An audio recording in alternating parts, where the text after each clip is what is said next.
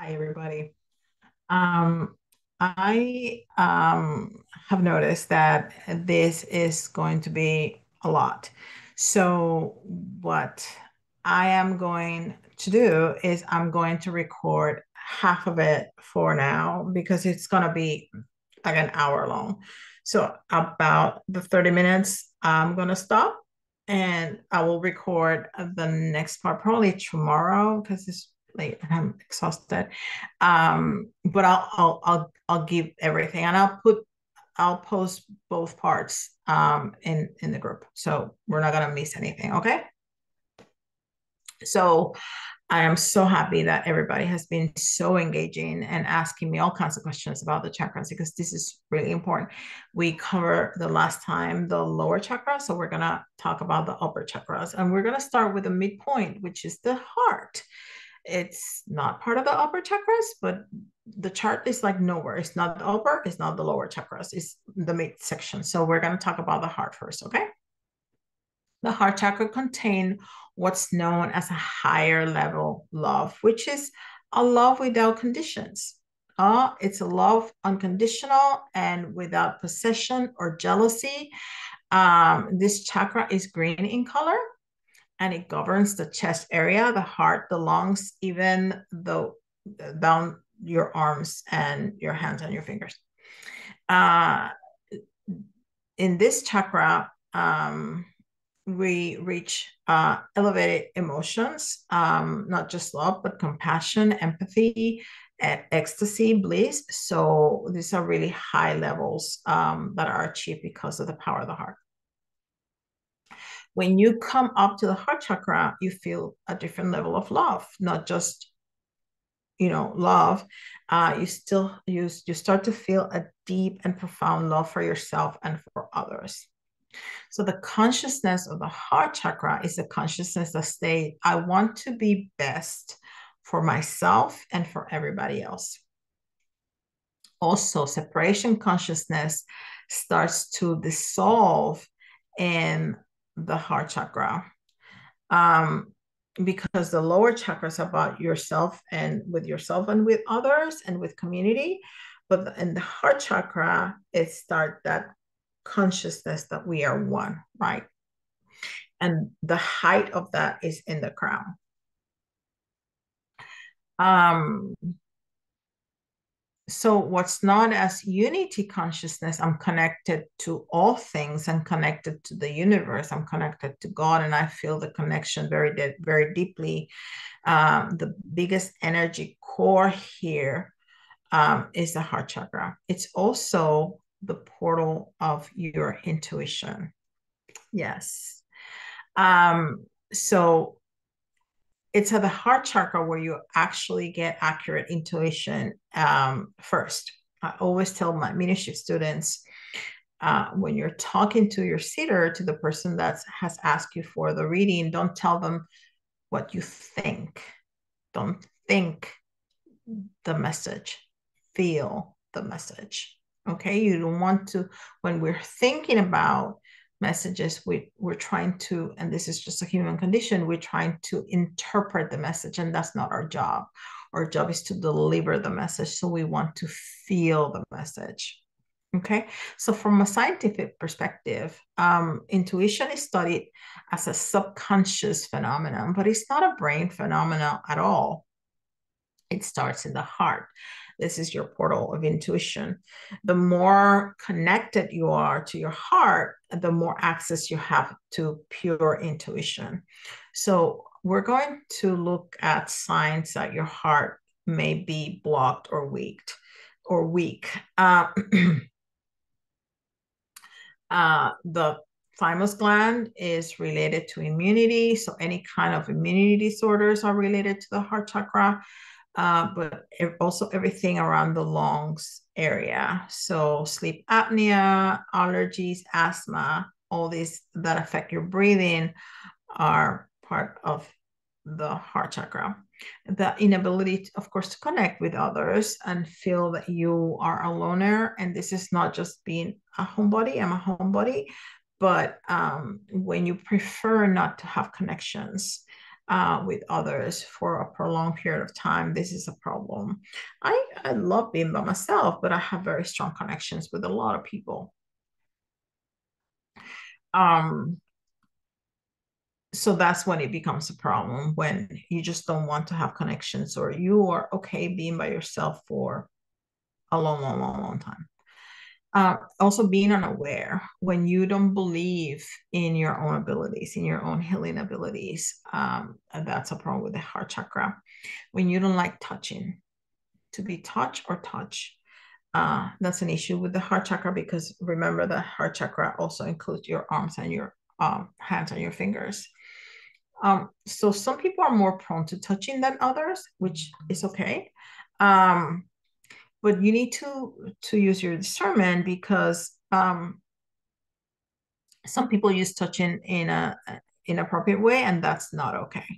So showing signs of affection uh, to your partner your children your uh, friends uh, your parents your siblings it's it's okay uh, in moderation of course in public in moderation it's okay.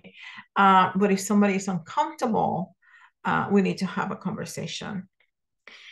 Um, now, when you don't like to touch or to be touched anywhere except the bedroom, this is a problem because humans need affectionate touch, loving touch every day, not just sexual touch.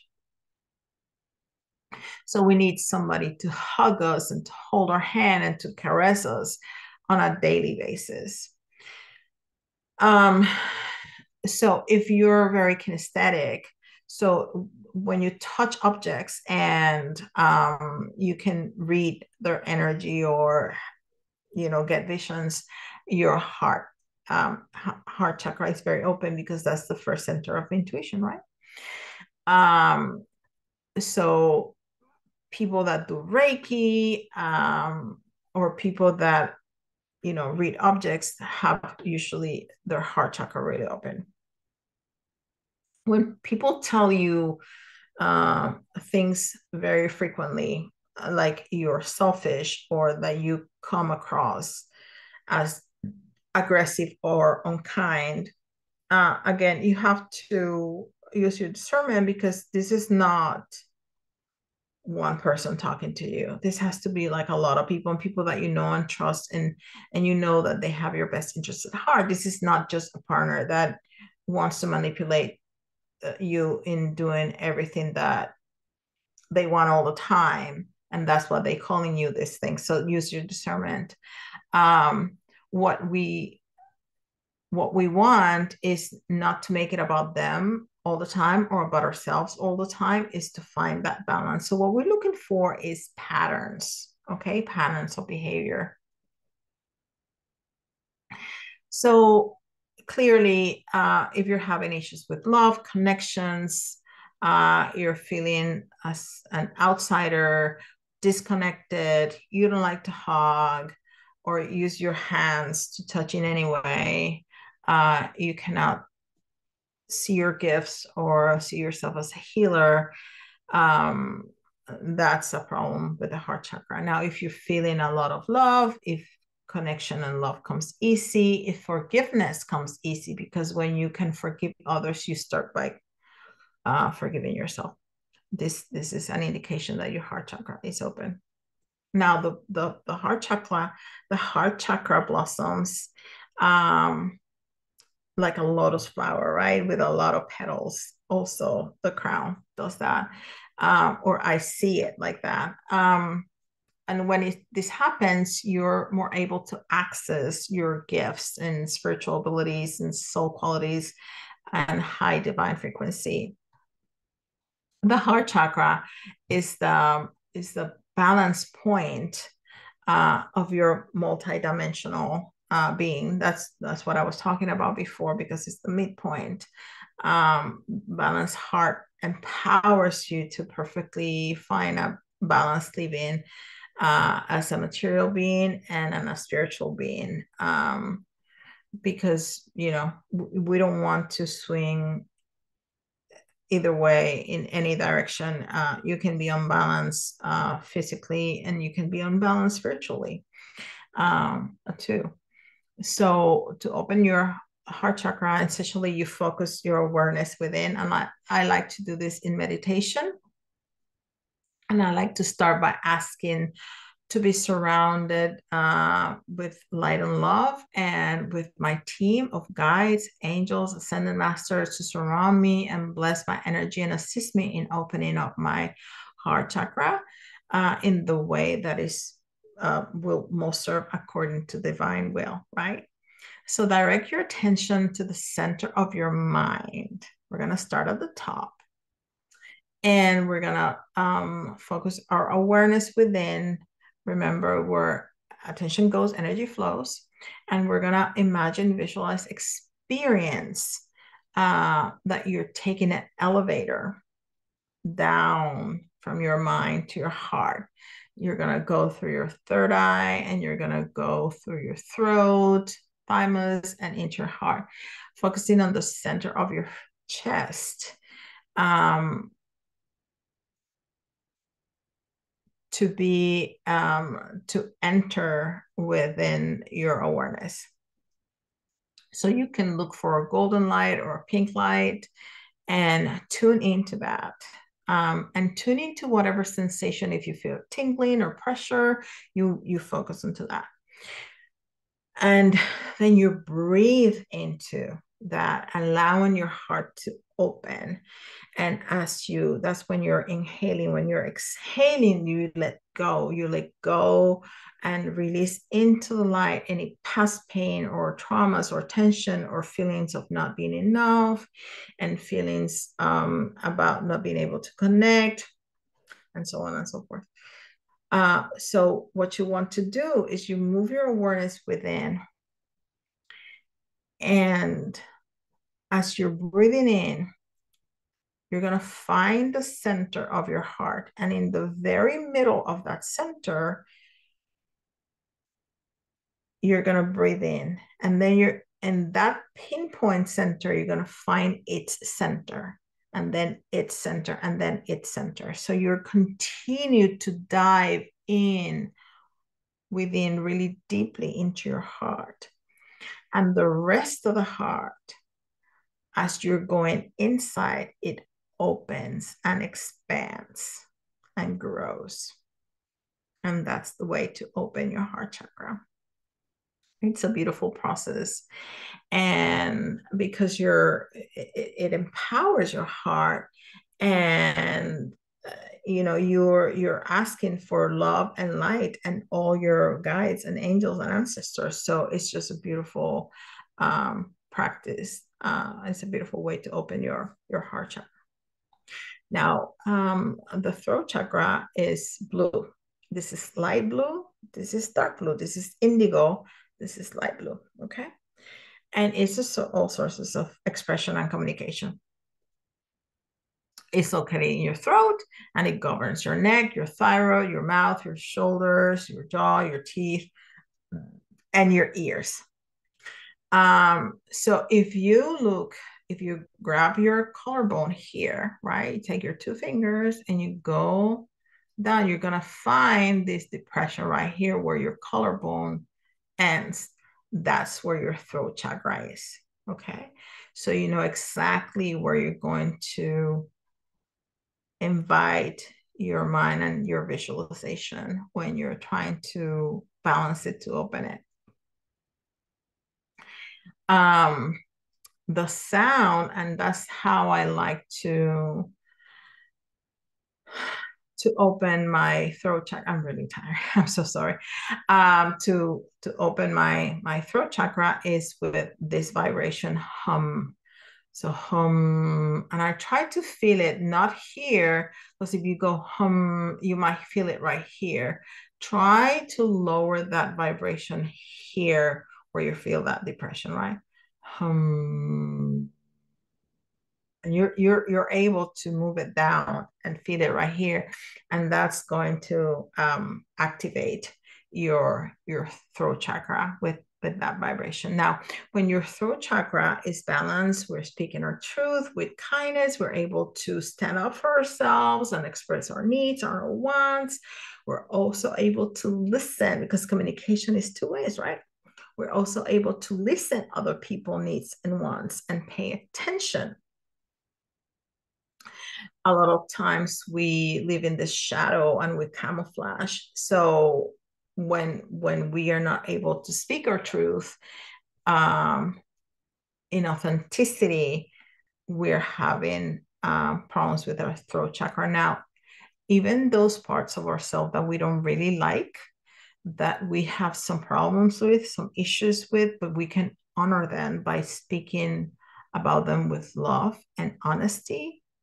That's a sign that our throat chakra is is in good shape um, when you're when people have uh, an imbalanced throat chakra, they yell and scream and gossip and just uh, speak up ugly about other people. You know, those people that cannot say anything good about anything or anybody. You know, those people.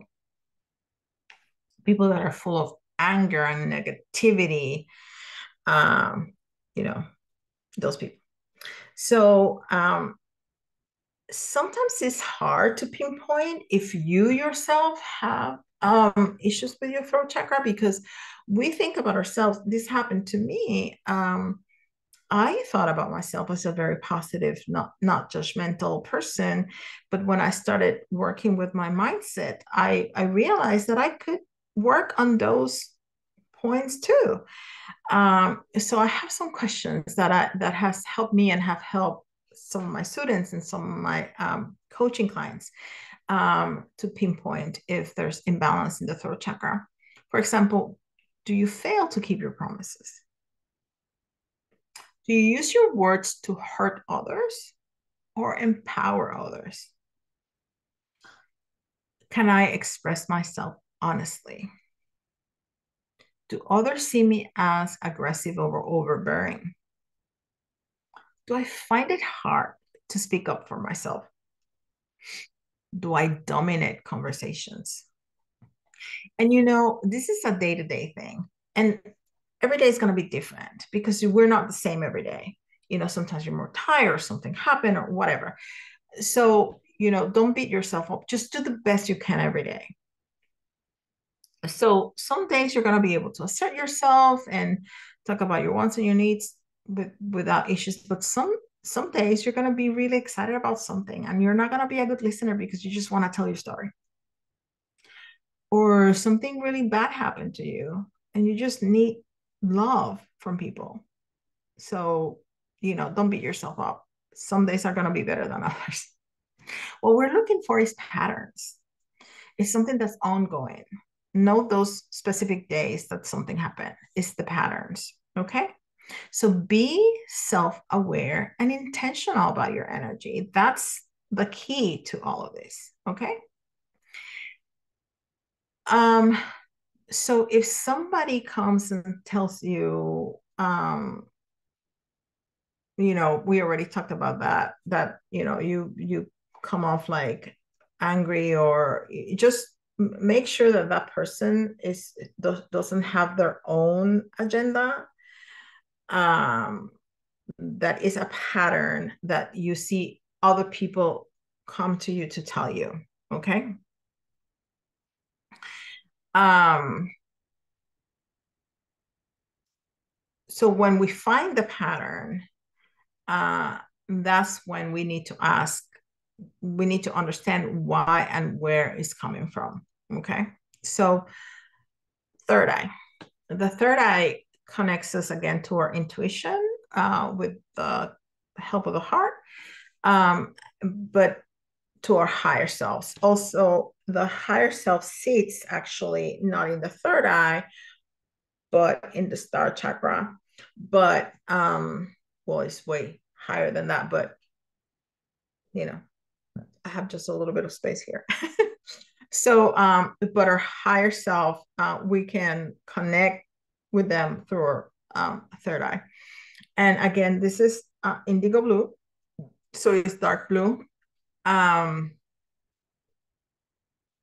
and when in balance, you feel connected to your intuition. You feel that your life has purpose, that your life is meaningful. You also believe in what is unseen and intangible. Okay. You understand that there's a higher power, uh, all of that. So when you're out of balance, you um, it might look like you're anxious or depressed or not trust that there is a higher power or something outside of ourselves. You may have difficulty concentrating. You might have scattered thoughts um, and not have a sense of an inner voice. Um, there is um, there is a fine line between uh, visions and hallucinations. Okay. And this is really important to understand. The difference between having your third eye open, being a medium, being able to see spirit, ancestors, angels, and any uh, being from a different realm uh, is very different from having a mental health issue. Okay. And the difference is the content. Uh, the content of the communication first, and then the interference in your life second. Okay, I'll explain. I'm a psychic medium. And people ask me all the time if I see spirits all around. There are all around. And if I want to see them, I can see them, but I don't because I have very strong boundaries. And this is crucial. Okay. Um, I don't want spirits popping up when I'm grocery shopping or having dinner with my girlfriends or having a date night with my husband. Uh, I have very clear business hours. You can show up when I'm working. End of story. But if something is going on that you need my attention right now and this cannot wait, then you can come up. But that has rarely happened. Rarely happen. Okay. So sometimes when I'm teaching, uh, especially mediumship, I can see my students' loved ones that they come and stand beside them but that's not intrusive it's you know it's almost like you know they came here to learn how to speak to me so i'm here with them but that's not intrusive it's not intrusive to them to me to the class to anything it's it's, it's kind of cute to see them come in with them uh, so uh, that's a big difference. When somebody has schizophrenia, uh, the voices and the visions are intrusive. It bothers them, and it's constant. That's what makes them crazy, right? Um, and they say things that are less than spiritual, less than enlightening. If you have a spirit that's undermining you, telling you to hurt yourself or somebody else, or anything that is less than positive, they got to go. You need to send them on their way. Uh, because that's not a high vibrating energy. It's just not. Uh, my guides would never tell me, Yari, go change that top. You look stupid. First, because that's not helpful to me. Second, because they don't care. That's a very human thing. Spirits don't could care less about that. Okay. So a lot of us, when we open our third eye, we start to see into the future. We can see into the past. We can see um, energy lines on the body, I see neon colors, like those highlighters, those orange and like green, yellow. That's what I see. Um, and grids. I can see grids. Um, uh, auras, colors, and so on and so forth. So it's important for you to stay grounded in your body uh, and I cannot say this enough. Um, remember GCP ground cleaning and protecting on a daily basis. You didn't took a shower one day and decided that was enough for the rest of your life. You have to clean every day. You have to brush your teeth every day, right? At least I hope you do. Please do. um so it's the same thing because just by walking around like you get dust on you and dirt on you just by walking around. You get energies that you don't want just by walking around. You need to clean your energy field every day. Uh so opening up and working on this chakra can also bring um like activate your world uh your dream world uh so that's really cool too because we can start having all kinds of very uh clear and visual dreams um when we start opening up our, our third eye so to open your third eye and to activate it, one of the important things is to decalcify it. Our third eye gets uh, calcified, and your third eye is not here. Okay, it's not. It's inside your brain. So if, if imagine if you had a line that goes through right here and go out the other side, and another one that comes through and goes the other side. The the where it crosses right there is where your third eye is. Okay. So many times uh, when your third eye is blocked, it's because it's calcified. And there's certain foods that you can eat to decalcify it. Okay. Now we live in a world that is full of chemicals. They're in everything that we eat and everything that we breathe. Uh, and it's just all around us. So try to eat as clean as possible, uh, organic if you can, local if you can. Um, you know, when you buy local, and this is just a side note, um, you consume what's on season, which is going to taste better, but also you're going to, you know, help with uh, small business owners in your area that are working really hard to thrive. So you're going to be helpful to them too also when you consume local things like honey for example honey is really important because if you have seasonal allergies this is going to be a, a, a, game changer for you because the local bees are going to consume those and, and process those local allergens that are messing with your nose uh, so you know, go to your local farm um, farmers market and get your fruits and veggies from them and get the honey from them. Okay, the local honey. So what can you eat? Seaweed. Seaweed is delicious. Eat it. Just try it. It's delicious. Seaweed, beets, aloe vera, garlic, uh, leafy greens, not lettuce. I mean, you can eat lettuce. Lettuce is fine. Lettuce is great. I love lettuce, but I'm talking about dark leafy greens. Uh, chaga mushrooms, apple cider vinegar, raw uh, cacao, uh, uh, spirulina, uh, wheatgrass, um, iodine. Always make sure that you buy your salt with iodine. Um, avocados, bananas, walnuts, beans. Avoid processed foods.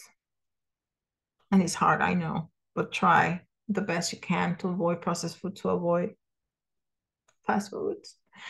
Um, be discer- discerning uh, because if, if you're choosing between fast foods, a chicken is better than a hamburger. Uh, it's definitely better than chicken nuggets, hot dogs. Don't do that. That's just so, no, that's not good. Uh, anyhow, so avoid processed foods, the more processed the, the, the words. Uh, also avoid fluoride. Fluoride is terrible for the third eye. Uh, and you can definitely purchase a toothpaste without fluoride. Okay. Um, you can also use essential oils. Essential oils can be used to stimulate the third eye, uh, remove heavy metals from the pineal gland, and encourage uh, tissue re renewal. You can use uh, peppermint, sage, clove, myrrh, and you can put it on a, you know, something to to smell it. You can uh, use it in your body. You can, you know, there's a lot of uses for essential oils. You can use it in candles.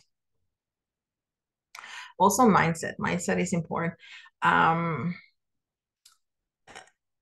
it's better to be a leader than a follower, but of course, there's you know times in your life that you have to follow. You have to follow your manager at work or you have to follow a teacher that knows more than you.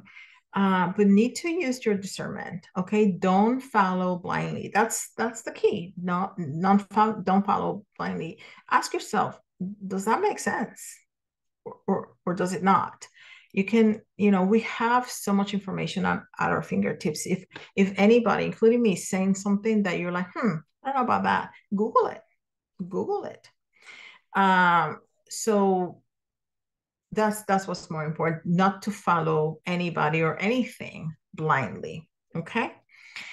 Um so also experiences and patterns that have made uh, you get into unhealthy lifestyle choices. Um, that's also an issue with the third eye. Uh, if you have like trust issue, you cannot have good relationship with anybody, friends, lovers. Uh, you cannot connect. That that that's about connection. Okay, connection, not not just love. Uh, connection. Um, and always trying to find the advice from others because you're not able to to come up with an answer for yourself. Um always trying to get reassurance from people about your decisions not trust just not trusting.